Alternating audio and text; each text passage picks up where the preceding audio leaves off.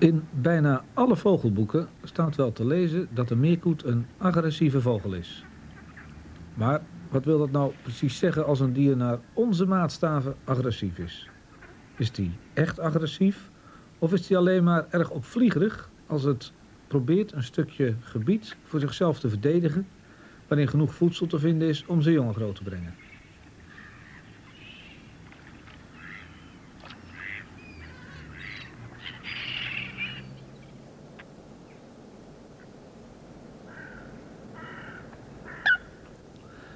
Om daar wat meer inzicht in te krijgen, is het gedrag gevolgd van de meerkoet in de broedtijd in een aantal plassen en vijvers.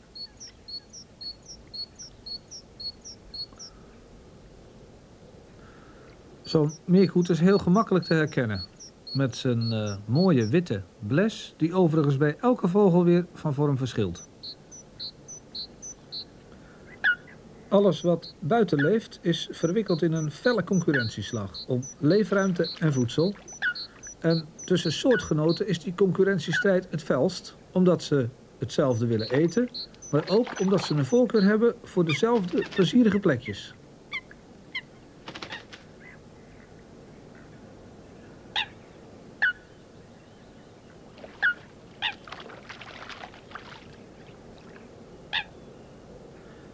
Die gevechten om leefruimte en voedsel hebben een heel logisch doel. De sterkste vogels, die het belangrijkst zijn voor het voortbestaan van de soort, krijgen uiteindelijk ook de beste plekken en brengen zo de meeste jongen groot.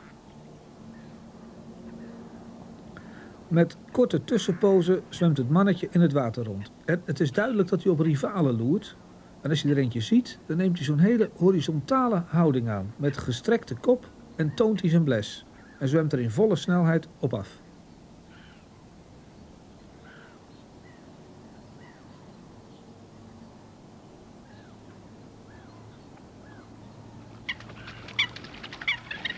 En als er in de buurt uh, nog meer meerkoeten zijn die dezelfde aspiraties hebben, dan komen die ook meteen aansprinten en ontstaat er een enorm tumult.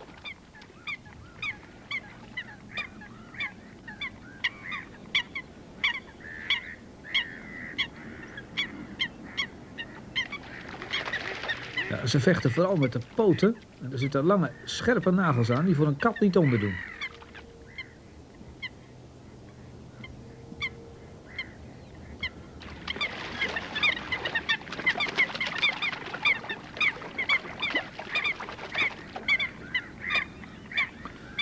Het is dan ook geen wonder dat je zomers nog wel eens meer koeten ziet rondwandelen met verwondingen aan de poten.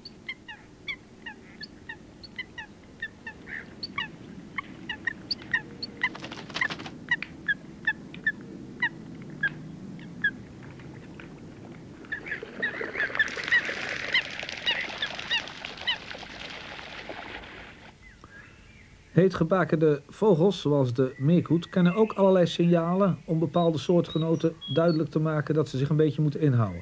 Zo weet het wijfje precies wat ze moet doen als in de periode van de paarvorming een mannetje tegenkomt. Het vertoont dan onderwerpingsgedrag. En in ieder geval zet het de vleugels niet op, want het zou juist agressie oproepen. Door al dat geknabbel leren ze elkaar steeds beter kennen.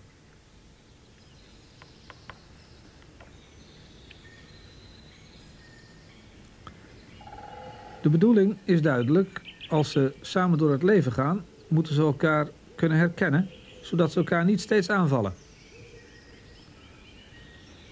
In het begin van de paarvorming is er nog regelmatig sprake van wederzijds dreiggedrag.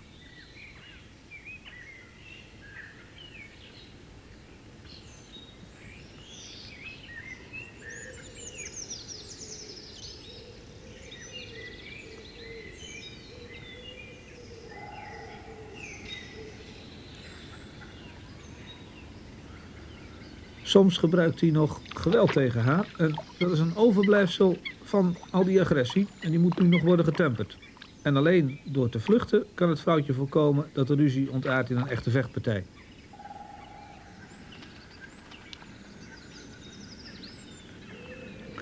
De volgende fase is het veroveren van een territorium. En ook dat kan alleen door de strijd aan te binden met de concurrentie.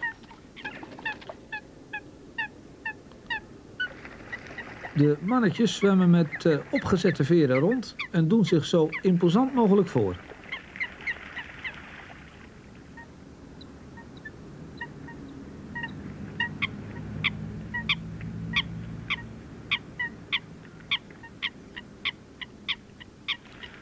De strijd ontbrandt zodra ze elkaar zien, ook al is het vanuit de verte.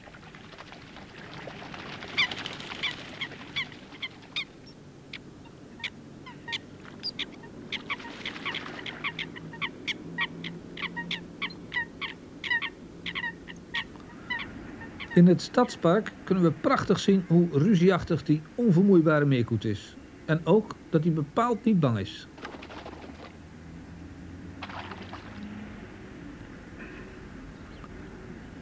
In het water drijven een aantal nestvlotjes en waarschijnlijk zijn ze bedoeld voor de statige knobbelzwaan. Maar alle nestvlotjes zijn ingepikt door de meerkoeten.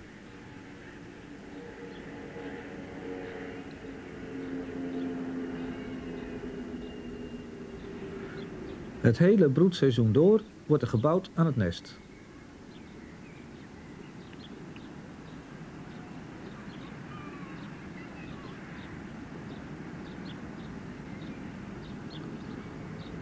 Ja, zo'n trapje is natuurlijk best handig.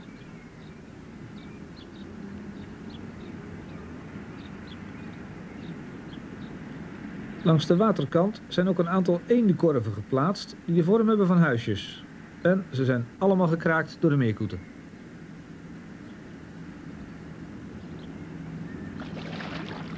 Klein duimpje en de reus. En zelfs de knobbelzwaan, die hier ergens in de buurt zijn nest heeft, wordt lastiggevallen.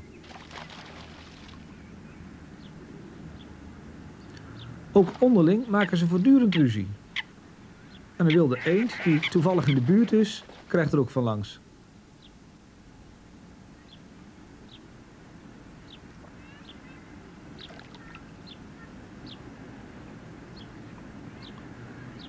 Paardje knobbelzwanen heeft uiteindelijk zijn toevlucht gezocht op de oever. Ze hebben een enorme berg takjes, bladeren en plastic zakken verzameld en andere rommel die in parken tegenkomt.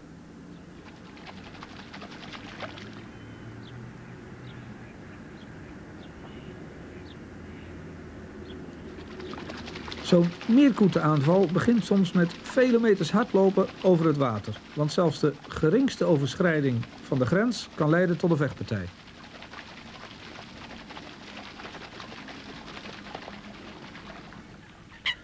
De poot van een meerkoet is heel bijzonder. Het is eigenlijk een kruising tussen een steltloperpoot en een zwempoot. En de meerkoet heeft hele lange tenen, waardoor hij zonder weg te zakken makkelijk over waterplanten en het slik kan lopen. En tussen die lange tenen zitten geen zwemvliezen, zoals de eenden hebben, maar aan weerszijden van elk teenkootje bevinden zich grote lobben. En tijdens het zwemmen worden die lobben samengevouwen zodra de poot naar voren gaat en weer gespreid als die naar achteren gaat.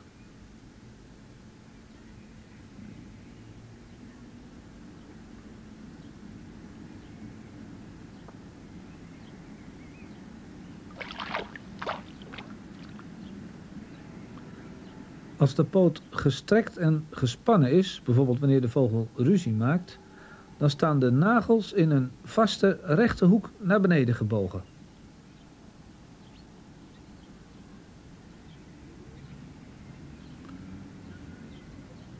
En dat zijn geduchte wapens waarmee de meerkoet stevig kan uithalen.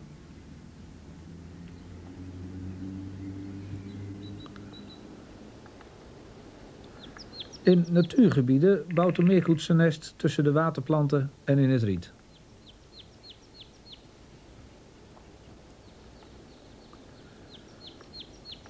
Vaak ligt het nogal open en bloot en is het gemakkelijk te ontdekken.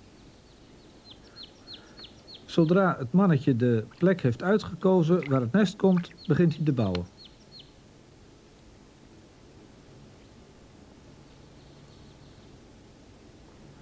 En na een poosje gaat het wijfje helpen met het verzamelen van nestmateriaal.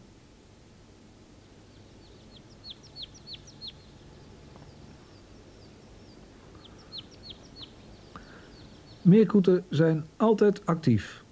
Als het mannetje niet bezig is met het achtervolgen van andere mannetjes, met balsen of met het bouwen van een nest, dan is hij wel aan het fourageren.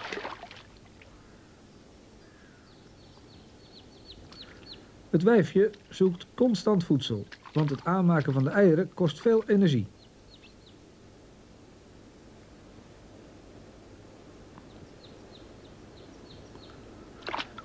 De meerkoet eet veel waterplanten en wieren die hij vanaf de bodem opduikt.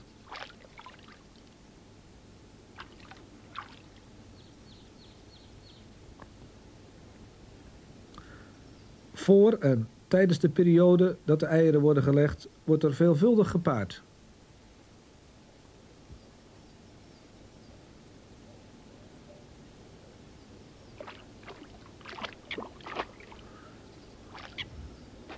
Aan die paring gaat ook vaak nog een achtervolging in het water vooraf.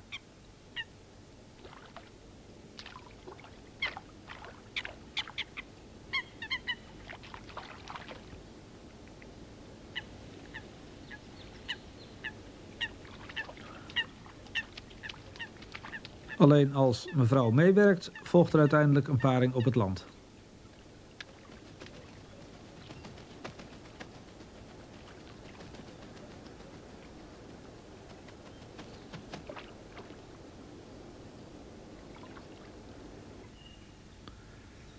Als er een vijand in de buurt van het nest van de meerkoets komt, gebeurt er iets heel bijzonders.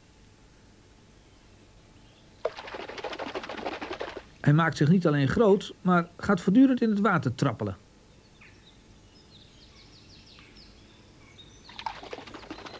Ook bij onderlinge ruzies tussen meerkoeten nemen ze deze dreighouding aan en staan ze te trappelen. Het lijkt wel of ze er elk moment op los kunnen vliegen.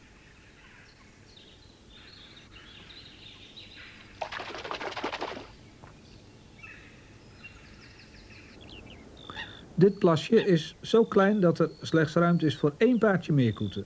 Maar die beschikken dan ook over een riant onderkomen. Het nest ligt tussen de afhangende takken van een wilg.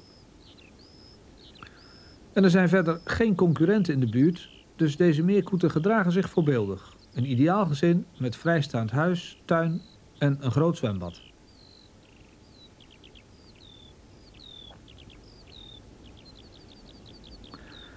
De meerkoet eet vrijwel uitsluitend plantaardig voedsel. En de oevers van dit plasje zijn weelderig begroeid. En ook in het water groeien tal van eetbare waterplanten.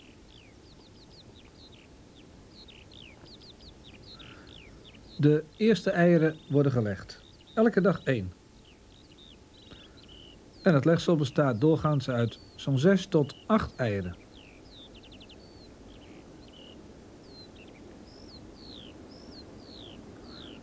Als de vogel net gezwommen heeft, poetst hij zorgvuldig zijn veren voordat hij op de eieren gaat zitten. Zo'n afdroogbeurt is heel belangrijk, want door de verdamping van al het aanhangende water zou er te veel warmteverlies optreden.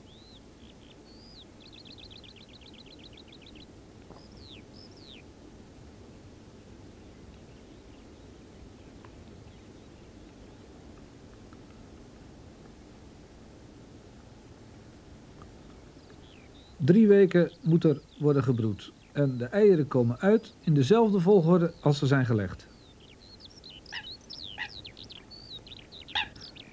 Jonge meerkoetjes zien er heel bijzonder uit. De opvallend rode kop van de kuikens heeft een hele belangrijke signaalfunctie voor de ouders.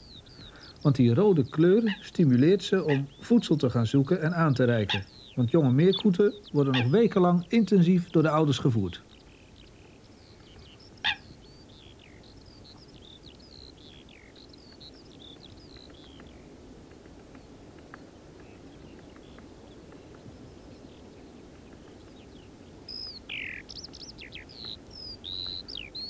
Een dag of twee nadat het laatste ei is uitgekomen, gaat het hele gezin te water.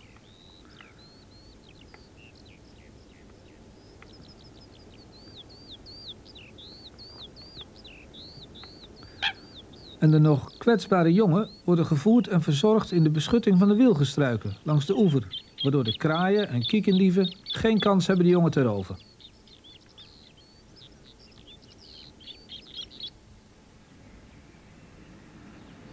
Hoe is het met de meerkoeten in het stadspark? Nou, niet slecht, want ze hebben vijf kuikens.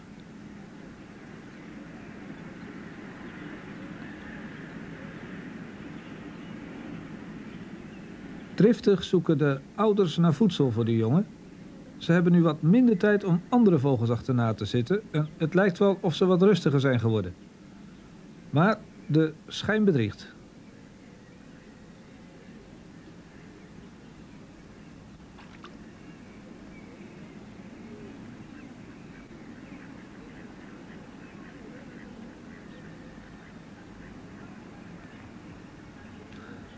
Een eend met kuiken komt net iets te dichtbij.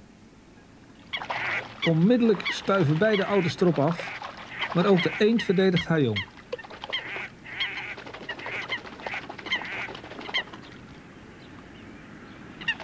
Zoals we al eerder zagen is de meerkoet een zeer strijdbare vogel.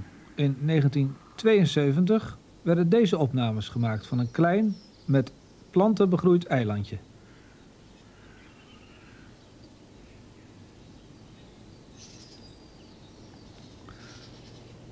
Ook de knobbelzwanen wilden op dit eilandje broeden, maar ze kregen geen kans. De meerkoeten kwamen als winnaars uit de strijd.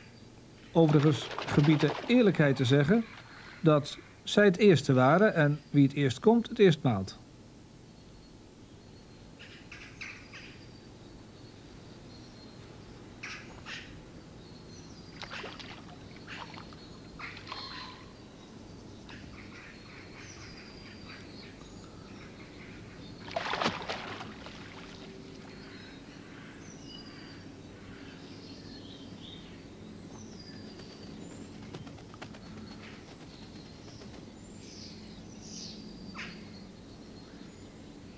Elk jaar opnieuw werd er gevochten tussen de meerkoeten en de zwanen. En nu, in 1980, werd er opnieuw op dezelfde plek gefilmd. En ook deze keer wonnen de meerkoeten de strijd.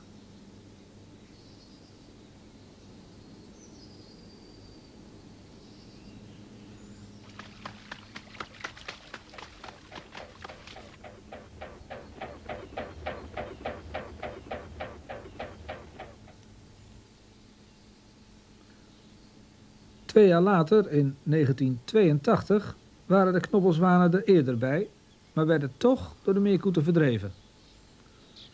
En nu zijn ze verderop begonnen.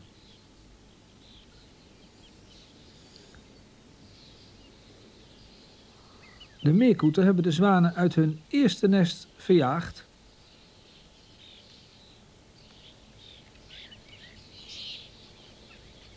En zitten heel riant op een enorm zwanennest nu te broeden.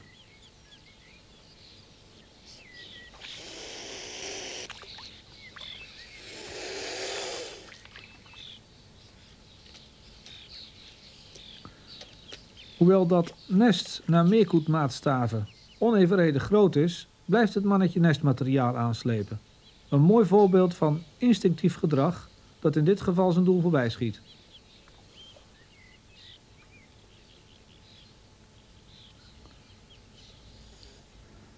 Af en toe probeert een van de knobbelzwanen nog iets van het voormalig bezit terug te veroveren.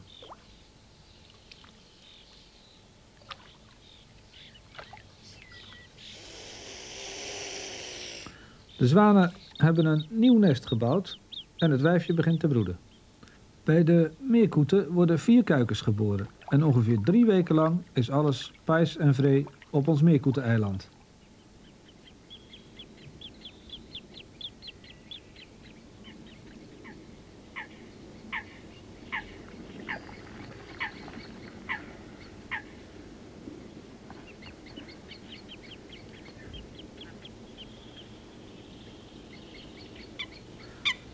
Maar er leven nog meer meerkoeten in de vijver en die zijn nog lang niet uitgeknokt. De gevechten zijn overigens meestal van man tegen man en vrouw tegen vrouw.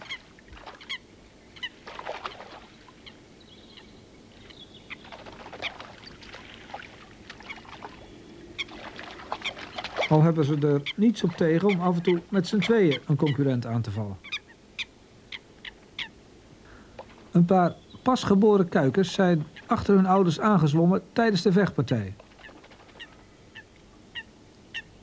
Maar die ouders zitten nog zo vol agressie dat ze per vergissing hun eigen kuiken aanvallen en zich daarop afreageren. En het beste is dan maar je doodstil te houden.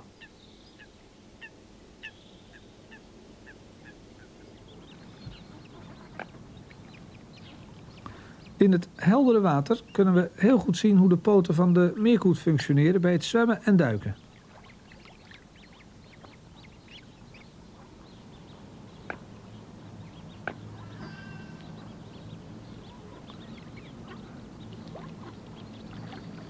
Je zou zeggen dat ze aan voedsel geen gebrek hebben, want het water wemelt van de groendieren.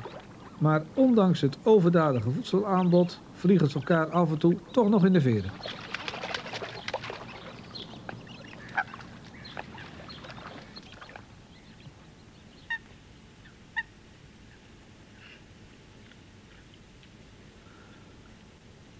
Nog weer even terug naar het moeras. De jongen hebben inmiddels hun volwassen kleed en kunnen vliegen.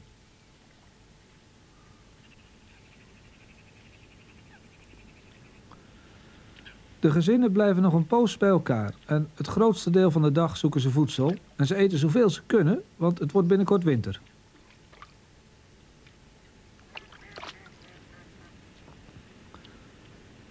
Om die winter goed te kunnen overleven, moet er gezorgd worden dat het verenkleed in topconditie is. En elke concurrent die het privéterrein durft te betreden, wordt verjaagd. De oudervogels tolereren geen enkele overschrijding van de grenzen die ze lang geleden zelf hebben getrokken.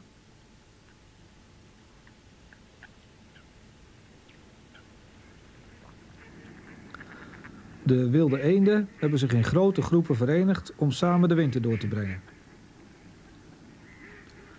Wanneer de meren, plassen en vijvers dichtvriezen, sluiten ook de meerkoeten tevreden.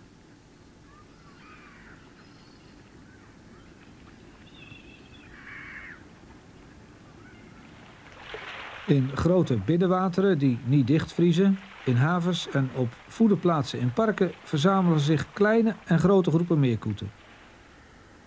Soms zijn het er duizenden of wel tienduizenden, waarvan een groot deel overigens afkomstig is uit Oost-Europa en zelfs Rusland. Het agressieve gedrag is helemaal verdwenen en dicht naast elkaar zoeken ze vreedzaam voedsel.